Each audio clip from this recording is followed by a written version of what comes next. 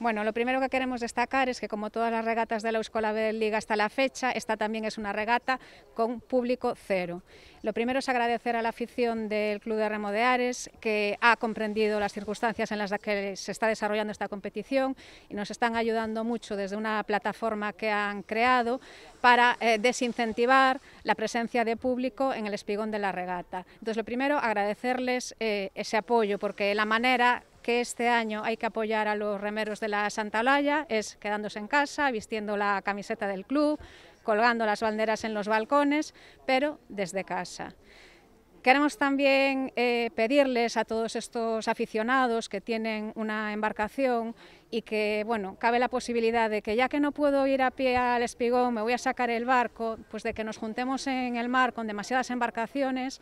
que entorpezcan pues, la fluidez del calentamiento de las tripulaciones o incluso el transcurso de la competición. Entonces querríamos también desincentivar y pedir que, por favor, eh, también sea público cero en, en el mar esta regata.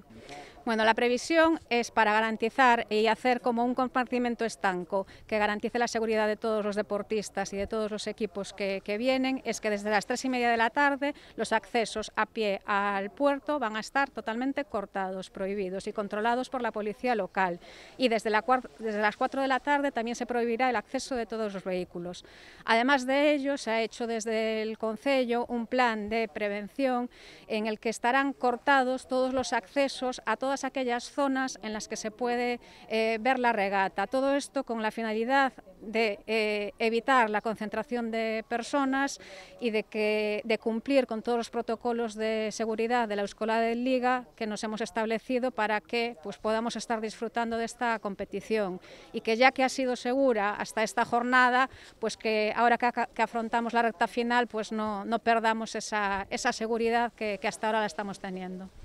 Pues la verdad es que es un hito, ¿no? Es historia porque tenemos un club de remo que ya lleva pues muchísimos años, bueno, pues dándole alegrías al pueblo, pero nunca pues tantas como en estos momentos, ¿no? La verdad es que la situación es complicada, pero bueno, este fin de semana se, se regatea aquí en, en, casa y esperemos que eso, bueno, pues pueda marcar el plus de diferencia que en estos momentos necesitamos para la permanencia. Pues que es una situación muy difícil para ellos porque todos quisiéramos estar en el espigón en primera línea aplaudiendo, pero debido a la pandemia pues ya sabemos que no puede ser y que en todo caso que el trabajo más duro le corresponde a los remeros, es decir, son los remeros los que tienen que hacer bueno, pues el esfuerzo de intentar bueno, pues vencer esa clasificación, pero en todo caso a nosotros nos corresponde animar y vamos a intentar bueno, pues colocar todo el espigón lleno de banderas azules y que, el, bueno, que todos los vecinos también los colores del Club de Remo los tengan muy bien presentes ese día y esperemos bueno, pues terminar con un buen resultado.